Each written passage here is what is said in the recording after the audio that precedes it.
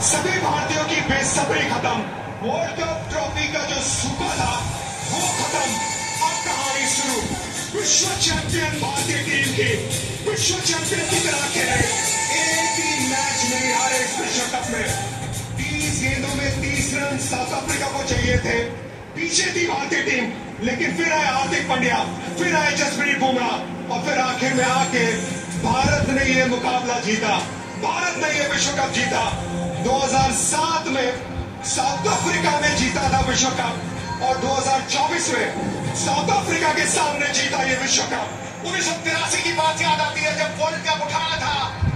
कपिल देव साहब ने तो हर दिल से आवाज़ निकली थी, इंडिया, ईस्ट और west you are the best amongst the rest और आज विराट कोहली जब वक्त आया द मैन एक कमाल की पारी खेली, एक नींद धरी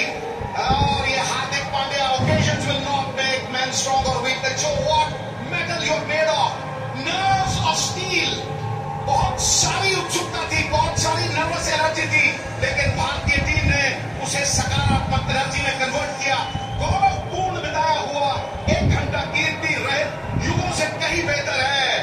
और बुलबुला चाहे एक पल क्यों ना जिए, सबसे ऊँचा होकर जीता है। इस टूर्नामेंट में भारतीय टीम सबसे ऊँची, सबसे ऊपर। और देखिए ये आँसू, ये आँखें भी क्या चीज़ है? रंगीन हो तो छलक जाती हैं। और अगर खुशी से आँसू आए तो समझ लो चमक जाती है। हर आँख चमकती हुई, हर दिल धड़कता हुआ और कहता हुआ, सारे जहाँ से अच्छा हिंदुस्तान। हमारा रोहित शर्मा के आँसू निकले थे 19 नवंबर को। 19 नवंबर को ऑस्ट्रेलिया के सामने आँसू निकले थे। वो दुखी के आँसू थे। आज जो आँसू निकल रहे हैं। आज जो आँसू है। ये खुशी के आँसू है वेस्ट इंडीज में।